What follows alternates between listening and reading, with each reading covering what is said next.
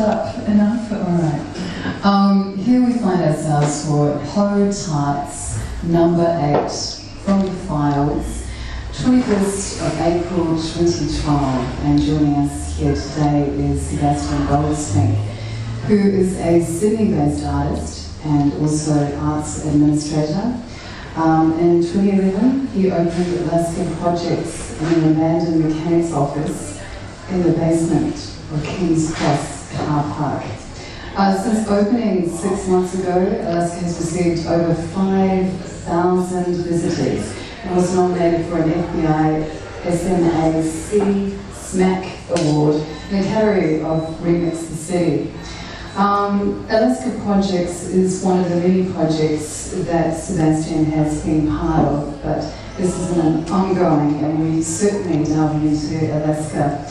But Sebastian was, as artist, um, was awarded a Fraser Street residency and has shown at Gaffa Gallery, Kudos Gallery, Fraser Street Studios, as well as Gallery 8, and internationally at Good Children Gallery in New Orleans, in the United States.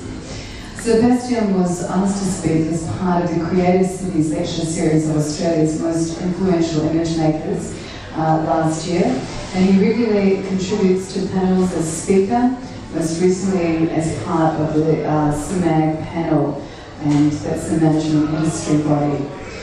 Thinking outside the white cube, which is quite apt if we think of Alaska.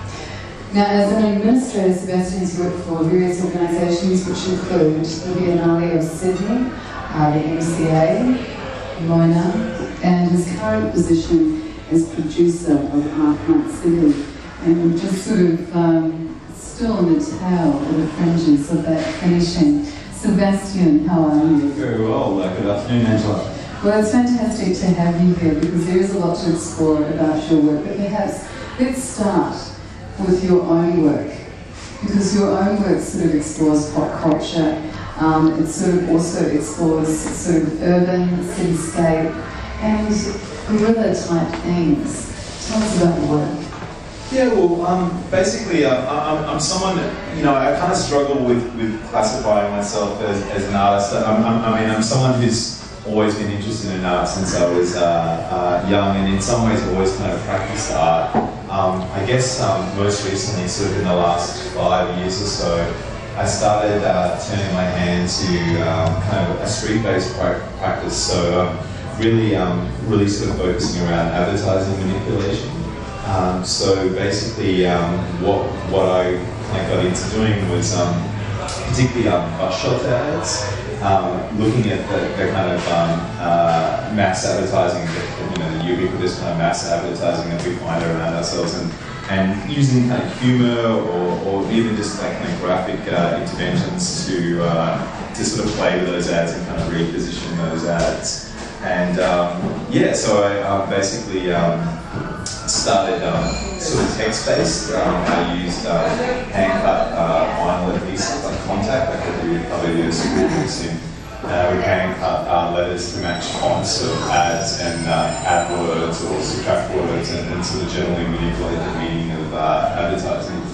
Um, it was kind of great. It was all, uh, you know, um, all uh, at night, so it was a, a really kind of interesting practice because I, I would do whatever I would do in the day and then, you know, kind of get excited for the night time and, and be out um, all hours of the night. I'm an insomniac, so it kind of, it kind of fits. And, uh, um, An insomniac in King's Cross. Yeah, yeah, yeah. well, it's a kind of culture jamming in a way, yes. what you were doing, um, because it's both temporary, but it's communicating a specific message, but not necessarily always with a specific message of politics or something that's more substantial.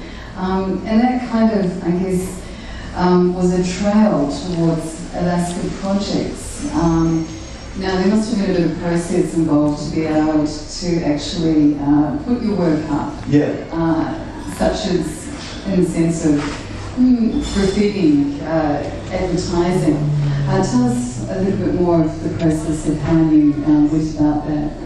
Yeah, I mean, I, I think a lot of this, um, a lot of this kind of stems from, um, you know, I grew up in, in Sydney, um, and kind of heavily immersed in the punk scene um, in the late kind of 80s, early 90s, and um, very much, you know, um, the, the kind of DIY aesthetic of that of that kind of scene. That was basically just sort of people getting together, putting on shows, um, making zines, making flyers, um, you know, using their work photocopier to make a you know a zine or a poster for a show.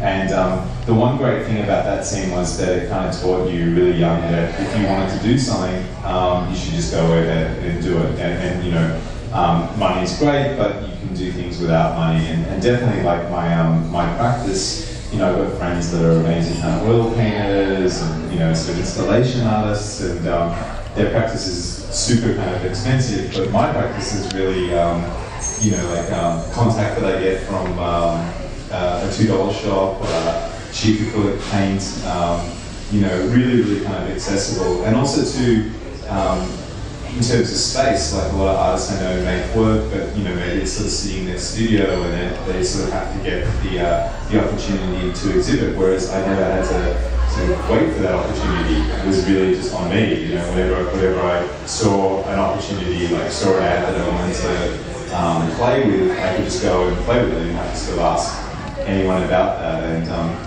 strangely, I, you know, I've come from a background of um, writing as well too. I was a scriptwriter and also a, uh, an advertising copywriter. And um, the interesting thing about that is that you're kind of using the principles of advertising against advertising. Yeah. There is a kind of strange juxtaposition there. But let's think about the consideration of how you perhaps sell this kind of contemporary work and how that sort of sits within a sellability and uh, sustainability as artists. Yeah, I mean, you know, it really is. It really is kind of um, uh, ephemeral uh, work. So yeah, it, it's it's not really um, it's not really geared to selling. It's more just about um, uh, expression and and, and um, yeah, definitely no kind of uh, commercial return. But um, the through the process of doing that work, that sort of also inspired me to open uh, a space, which is kind of weird because my practice is all about the absence of exhibition space and. Um, um, then you know, then being kind of inspired to open an exhibition space. And for me, um, for me, that that had a lot to do with my friends and uh, my friends who are artists and the kind of struggles that they had to um, um, to sustain, you know, uh, the life of being an artist.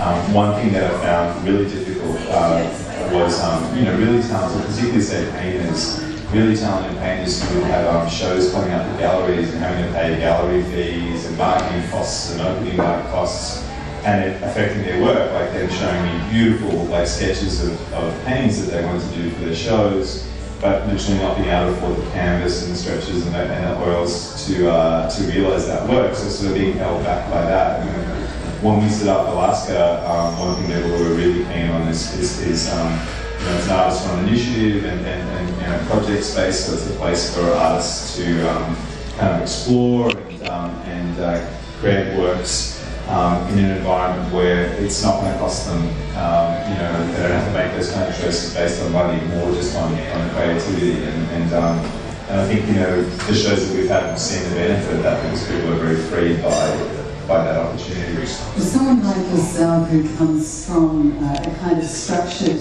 administration background in the arts, sort of working with um, at the Biennale of Sydney, the MCA, MONA, etc., you're quite familiar with the arts industry and structural aspects. Yeah. How, how important to you is sort of putting across more of the grounds roots um, space? It's weird. Um, yeah, for, for me, um, you know, coming from those kind of massive institutions, the, the one thing that, that is great about working in, in those institutions is that you get really good kind of processes in place and you get, um, you know, a really good idea about uh, dealing with artists and, and, dealing with sort of procedure and things like that. So we kind of we kind of take um, those procedures and that kind of thinking, but just have it on a, a smaller kind of scale. Um, so it's an interesting thing coming from from you know the most kind of structured environment to a seemingly unstructured environment. But um, you know, in order for the space to run, uh, you know, in, in our first year of operations, we'll do um, 16 shows at the space um, and five off uh, off-site shows. So it's 21 shows in a year, which is requires a lot of a lot of administration, a lot of kind of organisation, coordination, and they're the skills that I, I guess as an administrator I learned working in, in those kind of institutions.